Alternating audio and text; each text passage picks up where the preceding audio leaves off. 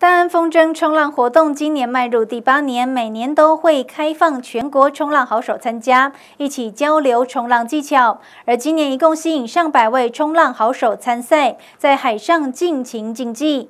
服务区馆内更有适合亲子的彩绘风筝活动，适合一家大小游玩，内容相当丰富。选手稳定的操控着风筝，等待风大时机开始下水冲浪。但风筝冲浪活动今年已经迈入第八年，每年都会开放全国冲浪好手参赛，一同来交流冲浪技巧。不过，想要有好的表现，除了技巧之外，还需要老天爷的配合。可惜整个早上风速不大，选手们等到下午才开始下水竞赛。借由这个比赛的机会，互相切磋，来互相学习，也可以一起玩乐，是一个很快乐的比赛。爸爸妈妈带小朋友可以来这边看表演啊，看选手非常技术高超的哦一些操作风筝的一些技巧。大安地区哈，特别大家知道的就是它的风很强劲。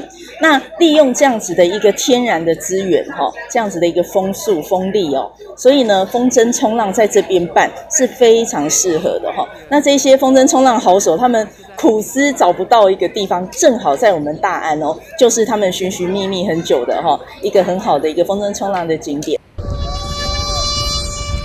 七十多位来自全国的冲浪好手在大海边迎着风势表演，五颜六色的风筝也将蔚蓝天空点缀的相当缤纷，吸引不少人观看。而主办单位也安排适合亲子一同体验的风筝 DIY，免费让小朋友们在风筝上彩绘，创作独一无二的风筝。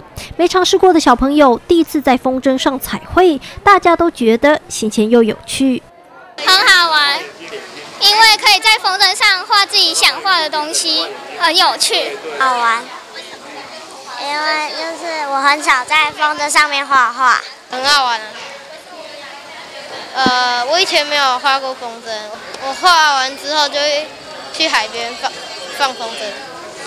台中大安拥有得天独厚的风力自然资源，近几年在市府精心的规划下，将在地结合运动及手作等亲子活动大力推广，吸引不少游客前来，也为当地的海鲜观光再添助力。